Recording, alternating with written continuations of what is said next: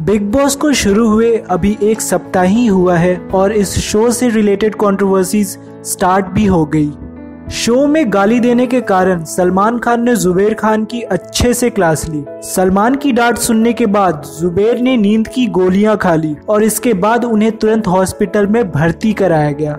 इस कारण जुबेर को शो से निकलना पड़ा। जुबेर अब सलमान खान के खिलाफ एफआईआर दर्ज करा चुके हैं। और उन्होंने सलमान पर धमकी देने का आरोप लगाया है कि उन्होंने जुबेर को कुत्ता बनाने की बात कही है। मैं सलमान खान के खिलाफ आखिर तक लड़ूँगा और जिस तरह कलर ने मेरी इमेज खराब करी है, सलमान खान ने जो हरकत की है, मैं उसके खिलाफ जाऊँ, उसने मुझे धमकी दी, कुत्ता बनाऊँगा, कसम खुदा की, तेरे को मारूँगा, ये करूँगा, वो करूँगा। ये सारी कंप्लेंट है। ये लोनावला पुलिस स्टेशन में भी फैक्ट हुई है। अगर मैं सुसाइड अटेम्प्ट नहीं करता तो मुझे बिग बॉस हाउस से निकलने नहीं दिया जाता। मेंटल टॉर्चर है।